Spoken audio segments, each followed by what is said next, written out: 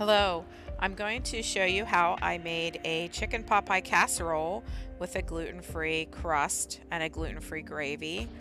I started by taking the two chickens that I had and seasoning them and adding water and putting that was all in my electric roasting pan and I left them cook. Once the chickens were cooked, I removed them from the electric roaster and put them in a large stainless steel bowl so that they could cool for me to later pull the meat off the bone. While the chicken was cooling, I peeled, washed and peeled the potatoes and diced them up and got them into some water with some salt onto the stove and brought that up to a boil just to get the potatoes like to a fork tendered um, consistency and then I took my frozen mixed vegetables and I threw them in while those potatoes were still hot and I left that sit on the stove.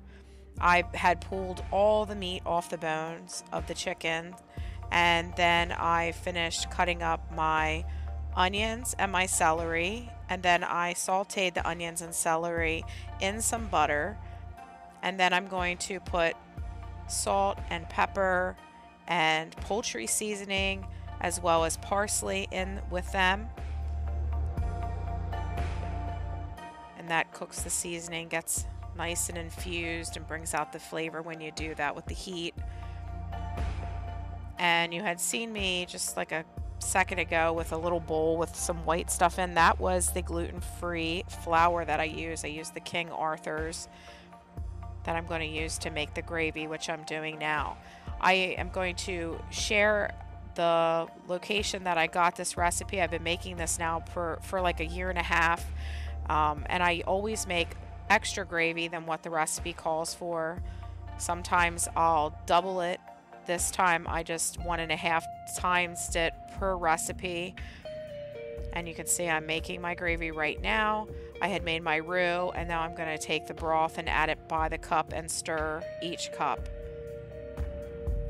And once I get that finished, I'm going to add in the chicken. I'm going to add in the celery and onions that I had sauteed earlier. I'm going to add in the potatoes and the mixed vegetables that are par cooked. Now I prepared this part the night before.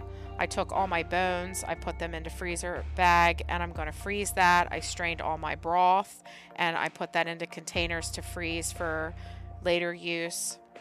And then I also take any extra chicken meat and I freeze that as well for a later use.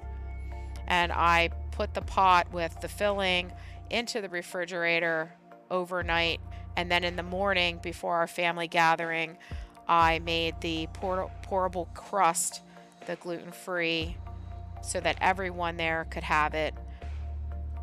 Salt and pepper goes in there with the melted butter a little bit of vinegar, baking powder, milk, and then you just whisk it all together and it thickens up as it's on the stove there.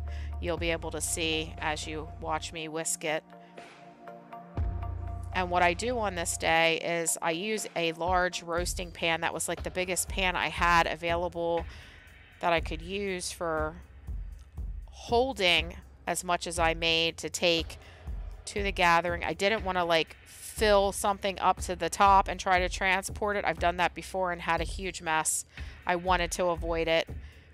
So I use my roasting pan bottom and then I'm actually able to get a foil pan out and I'm able to make one for the freezer for later use for my family. So I just take the filling. Everything is cold because it came out of the refrigerator. So I think this added a little extra cook time than what it normally would. I'm, I'm thinking it took at least an hour. I think I baked it at 375 and you can see I'm pouring the crust topping onto the one that's going to go into the freezer and I'll move that to the side. And when I was doing the crust on the large one, the whole entire tripod got knocked over. I the way my kitchen is angled, I can't really get the kind of shots I wish I could. I've been experimenting a lot and I just I can't get decent angles with the way it's laid out. So I do the best I can. And I also just use my little TracFone. It's a Moto G Pure. So it's not the best quality, but I'm working with what I have and I'm feel blessed for that.